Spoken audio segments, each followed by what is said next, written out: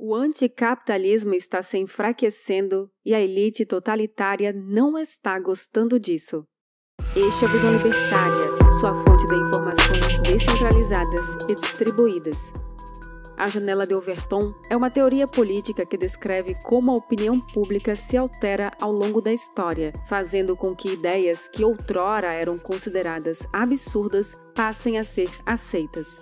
Vemos inúmeros exemplos nas últimas décadas de como o discurso moral pode virar 180 graus. Nas décadas de 80 e 90 do século XX, os filmes convencionais não mostrariam a genitália masculina em hipótese alguma, mas havia muitas propagandas de cigarro e demasiadas cenas de gente fumando. Hoje, a opinião pública não se choca se numa série como Game of Thrones, por exemplo, houver um homem peladão, mas acha ruim haver propagandas de cigarro. Parece que não, mas muitas das mudanças de opinião que vemos foram construídas pela mídia, que, por sinal, é um tentáculo do Estado, como também por políticas públicas. Ocorre que, no entanto, a humanidade entrou numa nova era de conhecimento exponencial, de tal sorte que é impossível, agora, para a mídia e para o Estado centralizarem as informações e definirem para que lado vai a janela do discurso. Não se engane por excesso de otimismo ainda, caro amigo libertário, pois o Estado tem muito poder e é uma máquina de engenharia social. O Leviatã não vai deixar de tentar te manipular. Aliás, ele vai conseguir isso muito, ainda. Basta olhar para os anos de 2020 a 2022, sobre como aquele grande evento que não pode ser mencionado aqui incrementou o autoritarismo numa escala global jamais sonhada. Porém, embora os estados mundiais tenham feito as pessoas mergulharem numa histeria coletiva, no utilitarismo médico desumanizado e no alijamento de liberdades civis, não se pode enganar todas as pessoas o tempo todo. Parafraseando o teólogo francês Jacques Abadie e o ex-presidente americano Abraham Lincoln. A verdade tem feito os mais honestos reverem suas premissas. Cada vez mais, a informação tem sido uma ferramenta para enfraquecer as hierarquias governamentais. Portanto, se por um lado o Estado ganhou muito poder em 2020, por outro, ele tem perdido cada vez mais adeptos.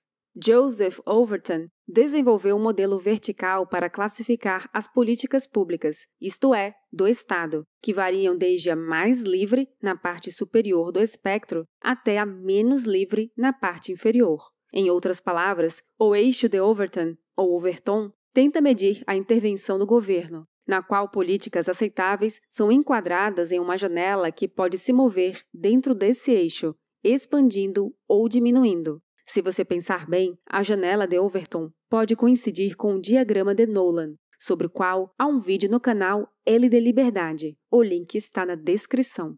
No fim, a informação descentralizada pode estar nos alinhando entre escolher flutuar para sermos mais libertários ou afundar para sermos mais totalitários. O movimento natural disso é que pessoas tenderão a se tornar libertárias porque elas não lucram com o Estado. Pelo contrário, elas são exploradas por ele. Na outra extremidade, uma pequena elite global descerá para os calabouços do estatismo, defendendo seus malditos bancos centrais, seu keynesianismo, seu domínio sobre os indivíduos, seu nacionalismo, seu protecionismo e por aí vai, porque só uns poucos endemoniados lucram com o Estado. E eles querem fazer você acreditar que eles são os bonzinhos nessa história. Mas lembre-se, em nenhum momento da história os dominadores foram os mocinhos. Ao contrário, foram sempre os vilões.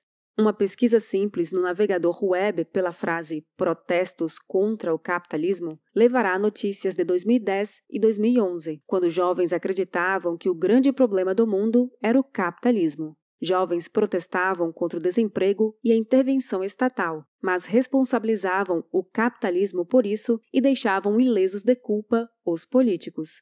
Menos de dez anos depois, a janela do discurso mudou. Os protestos têm sido contra o establishment, contra o autoritarismo. Enquanto isso, têm sido valorizados o mercado, o empreendedorismo e a mentalidade de investimento. Os maiores protestos de 2020 e 2021 foram exatamente contra as medidas draconianas do evento censurável já mencionado. Vimos países ditos desenvolvidos, como o Canadá, adotarem medidas inacreditáveis de confisco de renda e atropelamento de uma idosa com a cavalaria policial. Uma coisa assombrosa. A Nova Zelândia, país considerado um dos mais livres do mundo moderno, engendrou um dos confinamentos domiciliares mais insanos de toda a história. Mesmo lá, onde a população aparentemente foi bem gadosa, houve aqueles que se levantaram contra o Leviatã supostamente liberal. O mesmo se pode dizer da Austrália, Alemanha e Inglaterra. É o que temos dito. O Estado sempre tenderá a se expandir e a ser mais totalitário. As premissas vencedoras do século XX foram o socialismo e o fascismo.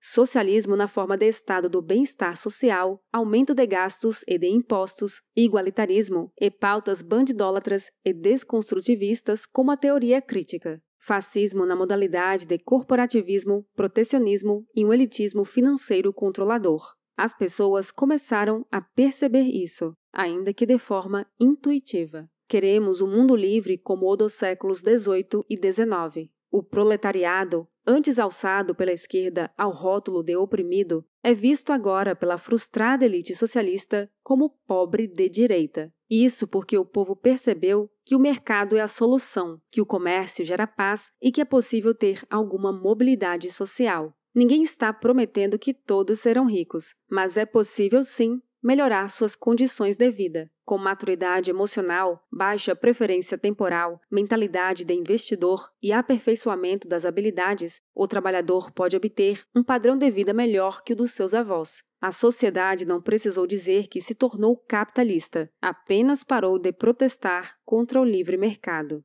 Simplesmente não se percebeu mais como anticapitalista. Os estatistas precisam agora criar um caos para se anunciarem como relevantes. E nesta guerra, eles usarão todo o arsenal que tiverem, de pandemias com reação exagerada a alarmismos ambientais. O que eles chamam de consciência de classe, podemos chamar de sociedade de castas inamovíveis controlada pela elite totalitária.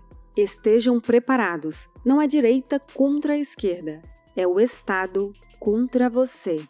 Obrigada por sua audiência. Este artigo foi sugerido e escrito por Rods, revisado e narrado por Baby Yoda e produzido por Leandro Brito. Se você quiser contribuir para a causa da liberdade, clique no like e compartilhe o vídeo em sua rede social.